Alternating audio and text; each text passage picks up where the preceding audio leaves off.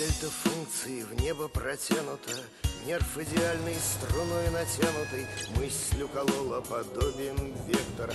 Завтра экзамен, деваться нам некуда. Завтра экзамен, теперь нам не спрятаться. Числа статы, уравнения матрицы Нас отчисляют, но мы возвращаемся И вновь на науки в атаку бросаемся. Давай за вас, учись, брат, до конца Давай за тех, кто верил в результат. Давай за тех, кто это создавал. Давай за всех, на ком физфак стоял.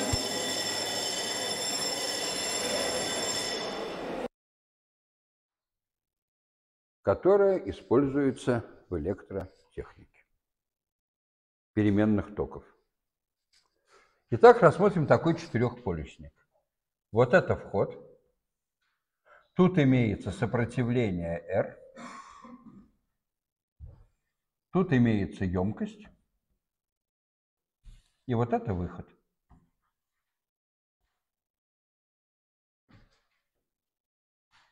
Тут U входное, функция времени. Здесь надо сосчитать U выходное. Как функция времени его надо найти. Вот мы на такую цепочку подаем переменный сигнал. Хочется узнать, что будет здесь.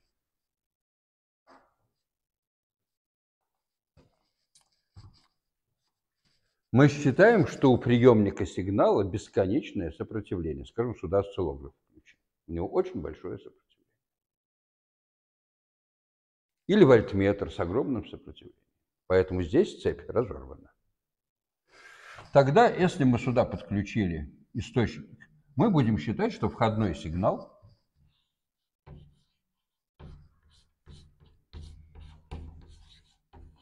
это у с ноликом на косинус омега t.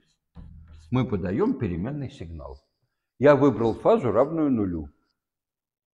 Но потому что от сдвига времени ничего не зависит, я могу начало отсчета времени поставить так, чтобы когда я включил часы, косинус был в максимуме. Помните, от сдвига времени мы с самого начала договаривались, физика не зависит. И когда хочу ноль времени, тогда и выбираю. Я выбрал ноль время, отсчет времени так, чтобы начальная фаза напряжения на входе равнялась нулю. Хорошо. Мы подали сюда напряжение. У нас потек ток. Вот так. Скажите, пожалуйста, что можно сказать о токе на всех элементах? Он один и тот же. Поэтому на всех элементах и здесь, и здесь ток один и тот же. Давайте нарисуем векторную диаграмму.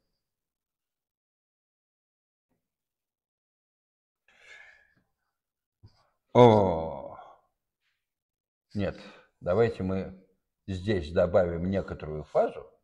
Я хочу, чтобы у тока фаза равнялась нулю. Так легче рисовать векторную диаграмму. Давайте выберем такое начало отсчета времени, чтобы у тока, который течет по этой цепи, начальная фаза равнялась нулю. Этот ток один и тот же здесь и здесь. Поэтому давайте нарисуем единый вектор тока – который у нас есть. Вот он.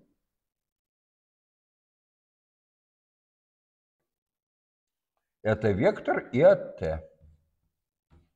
Его длина и с ноликом. Но он что делает у нас, если это векторная диаграмма? Он вот так крутится с частотой омега. И тогда его проекция на эту ось меняется, как и с ноликом косинус омега t. У него фаза ноль.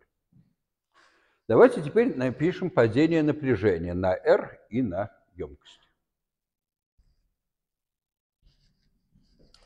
На сопротивлении у нас ток и напряжение по фазе совпадают. Поэтому падение напряжения на сопротивлении – это произведение тока на сопротивление. Поэтому вот эта величина изображает нам напряжение на сопротивлении в момент времени t. И длина этого вектора равна произведению амплитуды тока на импеданс сопротивления, которое равно r.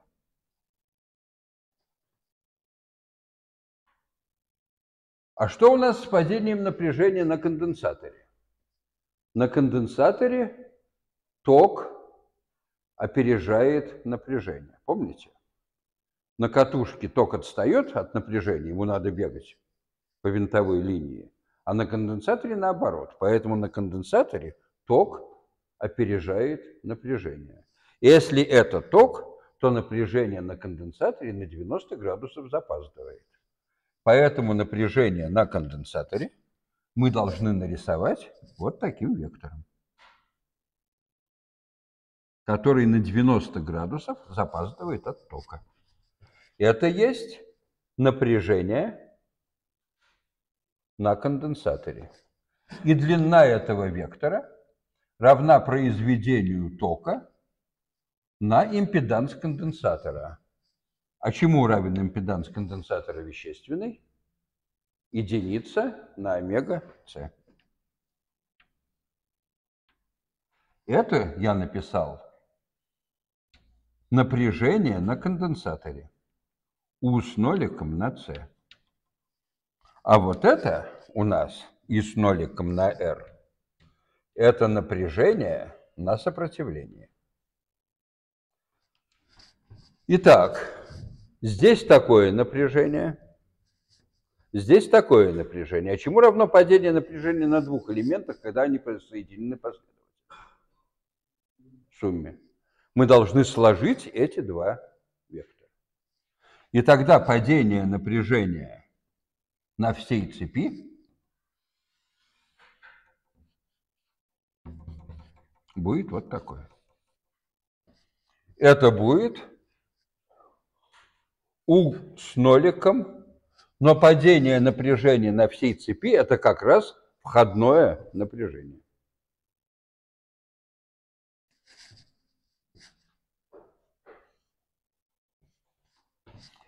А теперь у нас вся картинка крутится с угловой скоростью омега. И вот эти все три вектора вот так поворачиваются. И их проекция на эту ось дает мгновенное значение токов, напряжений на всем конденсаторе. Чему же тогда равно у входное?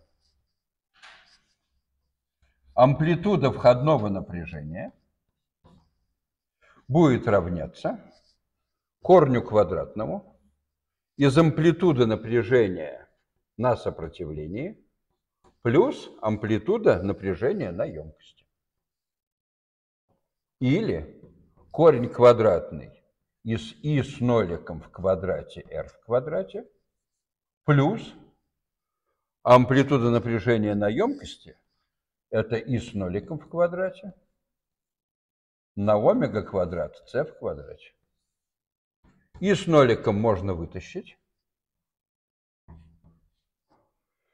И здесь у нас получится корень из квадрата сопротивления плюс единица на омега с в квадрате. Вот это входное напряжение. А чему же равен импеданс всей цепи? Импеданс всей цепи равен отношению амплитуды входного напряжения к амплитуде тока. И сколько же у нас получается? Если эту штуку поделить на и с ноликом, то оказывается, что импеданс цепи равен r в квадрате плюс единица на омега квадрат c в квадрате.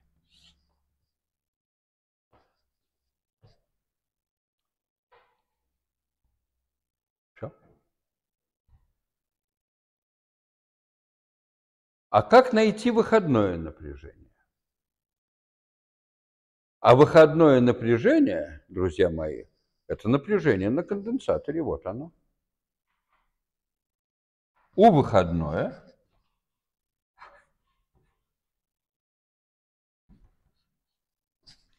в нашем случае это есть напряжение на конденсаторе. Ведь выходное напряжение сколько падает на конденсаторе? Которое есть амплитуда выходного напряжения. И с ноликом делить на омега-с. А как найти и с ноликом? Если входное напряжение У с ноликом, то ток, амплитуда тока, это есть входное амплитуда входного напряжения делить на импеданс цепи. Поэтому это будет У с ноликом на импеданс цепи. И еще делить на омега-с. Ну, давайте посчитаем, что у нас получится.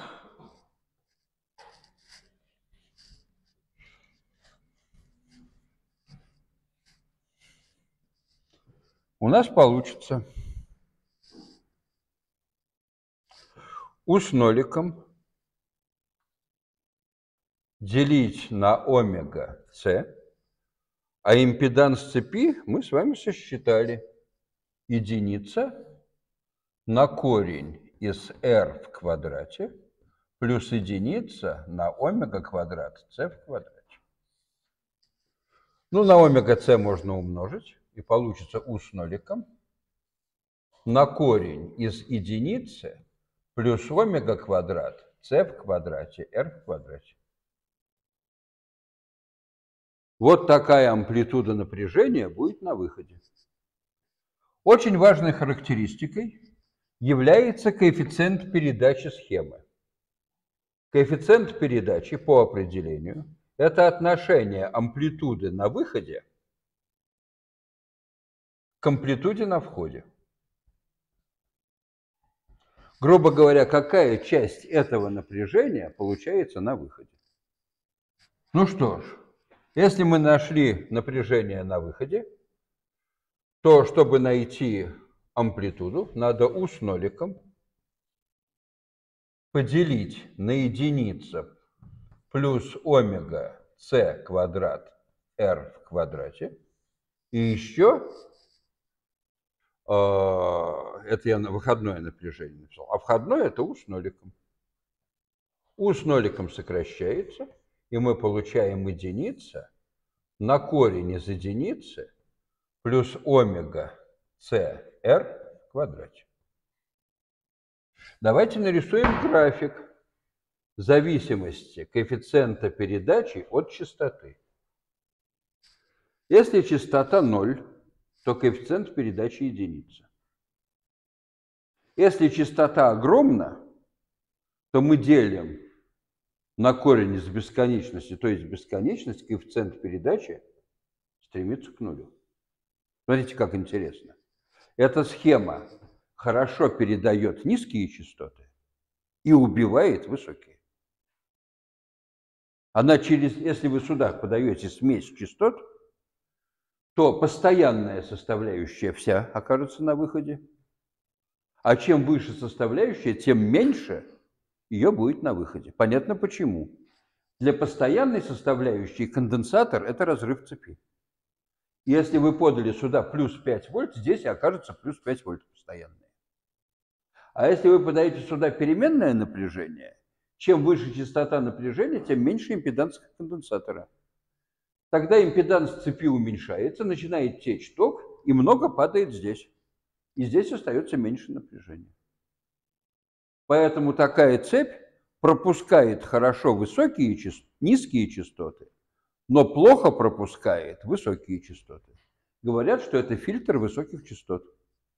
Если вы сюда подаете какой-нибудь сигнал U от T вот такой зашумленный,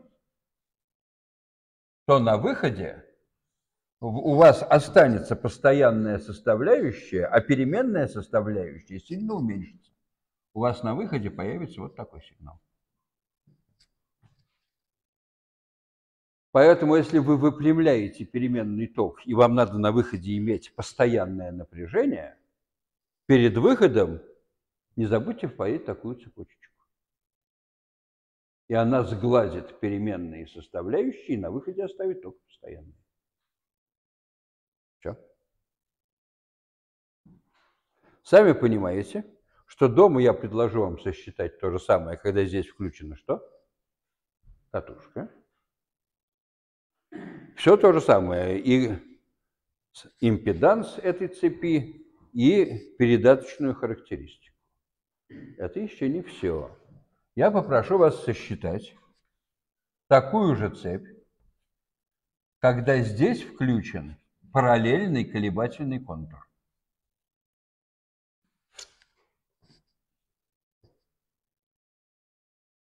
И еще я вас попрошу сосчитать, когда здесь включен последовательный колебательный. Вернее, тут последовательный контур, и когда включен параллельный контур. С этой цепью будет много возни, потому что здесь у нас все три элемента соединены параллельно, последовательно, и тогда ток на всех трех элементах какой? одинаковый. А здесь у нас одинаковый ток на сопротивлении и суммарный ток на контуре, но этот ток здесь делится на два тока, который бежит здесь и здесь. И напряжение на катушке равно напряжению на конденсаторе. Они соединены параллельно. Здесь будет много возни. Для одного из этих контуров, сами разберетесь, да, но я вам подскажу, что передаточная характеристика для катушки, когда здесь включена катушка омега, у вас, наверное, получится вот такая. На низких частотах она ничего не передает. А, нет, вот такая. А на высоких частотах она передает все. Единицу. Когда вы включите один из этих контуров, у вас передаточная характеристика будет такая. Я не говорю, какой контур у вас получится. Она получится такая. Везде ноль, а на некоторой частоте, это будет резонансная частота этого контура, будет единица. Чуете, зачем это нужно? Если ваша антенна ловит много радиостанций на разных частотах, если вы включаете такую цепочку, то она пропустит только узкий диапазон частот около той, которая вам нужна. Так настраивают радиоприемник. А другой колебательный контур, не говорю какой, будет иметь обратную передаточную характеристику, вот такую. Он все частоты будет пропускать, и только одну частоту не будет пропускать. Это тоже очень нужно. Если вы государственный деятель, и хотите, чтобы ваши подчиненные не слушали голос Украины, впаяйте во все производимые радиоприемники такую цепочку. И сколько вы не будете крутить ручку настройки приемника, если внутри есть такая цепочка, эта частота не пройдет, и вы не услышите. А если несколько цепочек, вы еще и голос Америки не услышите. Это очень нужно. Это очень нужно.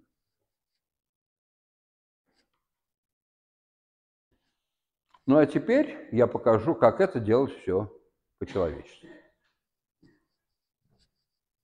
Как вы будете делать, it's your problem. trouble. Я все это убираю.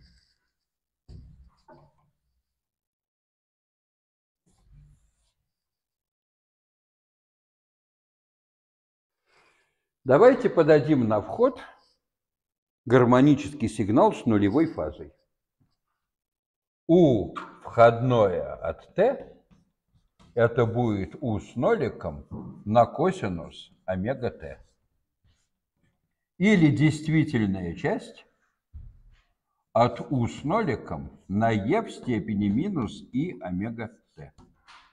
То, что стоит здесь, есть амплитуда входного напряжения. Поэтому амплитуда входного напряжения комплексная равна у с ноликом, она чисто вещественная. Давайте сосчитаем импеданс всей цепи. Комплексный импеданс всей цепи у нас последовательно соединены два резистора. У первого резистора импеданс ZR, У второго резистора импеданс ZC. Это комплексная импеданция. ZR – это сопротивление. ZC – это единица на I омега C. Вот такой импеданс цепи. Чтобы найти комплексный ток в цепи, надо напряжение поделить на что? На сопротивление цепи. Роль сопротивления играет комплексная импеданс. Это будет U с ноликом делить на R плюс I омега С. И забыл написать. Вот такой комплексный ток течет в цепи. Если нас интересует падение напряжения на сопротивление или комплексная амплитуда выхода, у выхода это есть комплексное напряжение на емкости С, это есть произведение комплексного импеданса емкости на ток. Но напряжение – это сопротивление на ток. Комплексный импеданс емкости единица на И омега С, а ток – это У с ноликом на R плюс единица на И омега С. Это будет, перемножим, У с ноликом, а здесь будет это умножить на это, это даст единицу, плюс И омега РС. Это комплексная амплитуда на выходе. Если мы нашли комплексную амплитуду на выходе, то теперь можно найти напряжение на выходе. Напряжение на выходе – это действительная часть комплексной, комплексного напряжения на выходе – на e в степени минус и омега t. Помните, я говорил вам, чтобы найти то, что нужно, нужно то, что вы сосчитали в комплексной форме, умножить на e в степени, только не минус, а плюс и омега t. Просто я привык писать минус и омега t. И взять действительную часть. Подставляем. Это будет, у, это будет действительная часть. У с ноликом на единицу плюс и омега РС на Е в степени и омега Т. Чтобы легче сосчитать действительную часть, давайте числитель и знаменатель умножим на комплексно сопряженное. Будет действительная часть у с ноликом умножаю на комплексно сопряженное. Единица минус и омега РЦ. Это в числителе. В знаменателе, когда умножаю на комплексно сопряженное, получается произведение суммы на разность, разность квадратов. Квадрат первого числа единица минус квадрат второго числа. И в квадрате это минус единица, поэтому плюс. А тут омега квадрат r квадрат, c в квадрате. Это я так преобразовал дробь. Я убрал комплексность из знаменателя, оставив ее в числителе. А e в степени омега t – это косинус омега t плюс и синус омега t. И от этого надо найти действительную часть. Постоянные множители выносим. У с ноликом, он вещественный. Знаменатель вещественный, его выносим. Единица плюс омега квадрат, r квадрат, c в квадрате. Осталось сосчитать действительную часть от произведения этой скобки на эту. Во-первых, когда косинус умножится на единицу, получится вещественный косинус. Будет косинус омега t. И когда и омега rc умножится на и синус омега t, и, и уйдут. Тут минус и умножается на и, получается плюс единица. Отсюда остается омега rc. Отсюда остается синус омега t. Перекрестные члены, единица умноженная на этот, и, и омега РЦ умножить на это, это мнимые части. Они убиваются операцией Р. Все, господа, мы нашли с вами ток на выходе, напряжение на выходе. Если нас интересует коэффициент передачи, то в комплексном виде он считается как отношение модуля выход, амплитуды выходного напряжения к входному.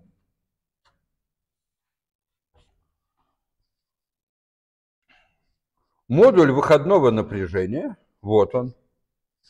Да, модуль отношения. Докажите, пожалуйста, сложную математическую теорему. Модуль отношения двух комплексных чисел равен отношению модулей комплексных. Это очень трудно. Это будет отношение модуля выходного напряжения к модулю входного напряжения. Вообще говоря, это некоторая теорема.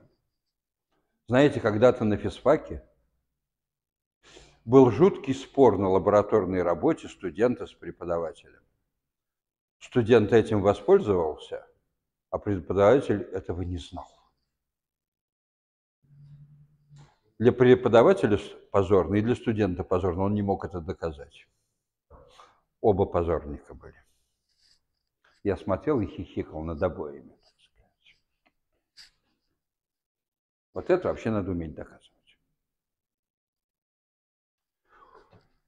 Выходное напряжение – это У с ноликом делить на единица плюс И омега РС по модулю.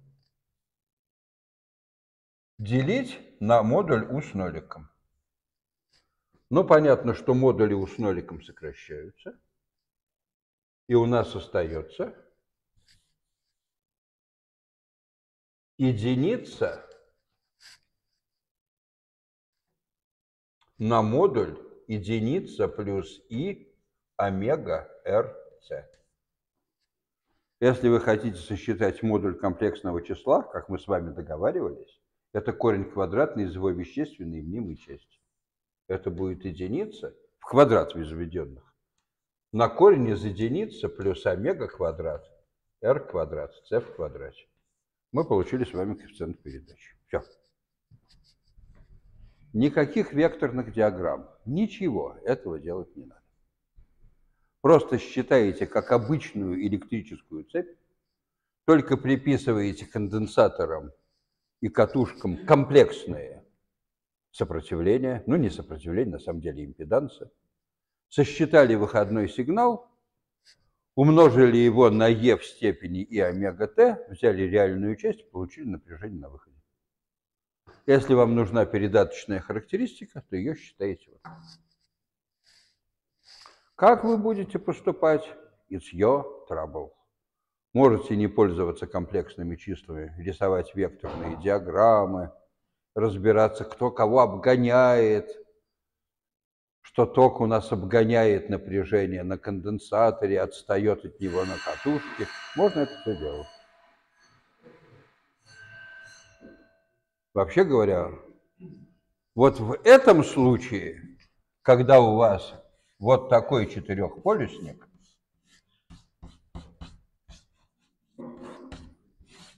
Это будет сделать жутко муторно, нарисовать такую векторную диаграмму.